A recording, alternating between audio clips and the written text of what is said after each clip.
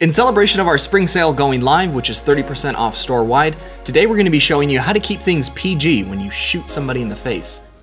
Ollie? Ah! Don't worry, Tom is okay. You can find the project files for this tutorial in the description as well as a link to the store and the sale. Let's go ahead and get started and dive right into HitFilm Pro. The first thing I need to do with this shot is motion track it because there is real life camera shake. I'm not going to go over every detail because we have a tutorial on this in the past, but basically what you do is create a point, add a track, and then track either forwards or backwards depending on your footage. You only need to track the area that the effect is actually on screen. You don't need to track the whole thing. Then apply that data to the new point, and now you should have a point that follows the camera movement when it's shaking.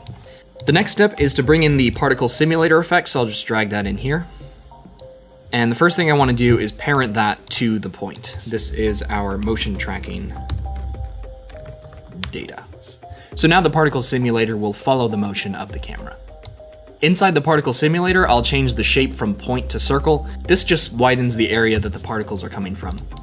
I'll change the trajectory from random to cone so that they go off in a specific direction, and then eyeball it until they are in the correct direction to be firing at Tom. In order to see how the particles are behaving, I'll increase the life to doesn't have to be 60, just as long as they're on screen the whole time. So 15, and you can see that that is the correct direction. Then I'll increase the speed to something much higher, like 2500. I don't want the simulation to be starting at this point, so I'll just go to the area that I actually want it to start and drag the simulation forward. I also don't want petals to be continuously coming out of the gun, so so I'll put my playhead at the beginning of the simulation and search for per second, keyframe that, skip forward, and bring it down to zero. So we'll get a blast of particles and then no more will appear. And I'll just increase that as needed. Right now, the particles don't have any sort of gravity, so they're just continuing off into space. To add gravity, come down to Forces and select the plus icon, now for the petals themselves. For these, we actually went out and got a few flowers, pulled off a few petals and put them up against a black background, and then took pictures. If you want to use all of these textures inside of the simulation itself, what you want to do is select New Composite Shot. For the duration, I'll count how many pictures I have and use that for the amount of frames, so 16 in this case. I'll also make it much smaller, so maybe 300 by 300, and then hit OK. Next, select all of the petals and drag them into this composite shot. I'll right click, select transform, and then do fit to frame. Now we have all the textures in here. What we need to do is select them all again and go to speed duration. Set the duration to just a single frame. Now you need to space these out so that they go one after the other. We do have a keyboard shortcut for move layers to playhead. I've set this to T, but you can change it to whatever fits your needs. What I'll do is just go frame by frame, press T, and move them all. So now if we play it back, we have one petal per frame. In the main composite shot, bring this petal textures into that comp, and you can hide it from view and put it at the bottom. In the settings for the simulator, go to Particle Systems, Appearance, Texture Source, and select Layer. Then for the source layer, choose the composite shot.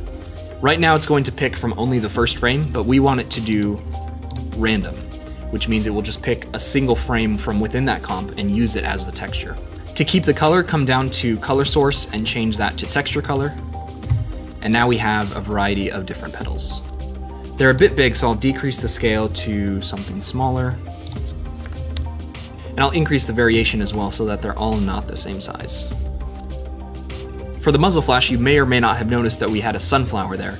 So what I did was I just got another PNG of a sunflower and masked it out, and then positioned it at the end of the gun. To help it blend a bit better, I'll add an angle blur onto the sunflower itself, and then match the direction that the gun is blurring. The petals are currently going in front of this wall on the right here when technically they should be passing through the doorway, so I'll just draw a simple mask using the freehand mask tool onto that area. And then I'll invert it in the controls panel so that it affects the opposite. Because the camera is shaking, you'll have to activate the position property and then go through and just match the motion of the doorway. And then if it helps, you can feather it in the controls panel as well. Be sure to turn on motion blur for the particles. That'll really help sell the idea that they're very fast. If you want to add an additional blur, you can do that as well. It can be an angle blur or a regular blur, whatever helps fit the scene a bit better. This effect was inspired by a Freddie Wong video from a long time ago. If you haven't seen it, do check it out because it is still pretty cool. If you go on the sale page, you'll notice an animation that uses a very similar technique. I just used three particle simulators in each side of the screen to give it that burst. Do let me know if you have any questions down below, and don't forget to check out our sale for 30% off store-wide. Link is in the description. Hey, Tom here. As you may have noticed, I'm working from home, as are the entire FX Home team. We are now FX Home. So this is just a little update to let you know that we are carrying on. We have some content that was made prior to the lockdown, so there are tutorials coming, some of which are really exciting. Outside of that, during this time, if you feel bored, if you feel like you need someone to talk to, do send us a message on Instagram, the forums, um, or even just on YouTube. We'll try and respond to as many people as we can. So if there are things that you want to learn, things that you want to know, give us a shout. We might do live streams, we might do videos on that content. But from all of us at FX Home, stay safe and look after yourself.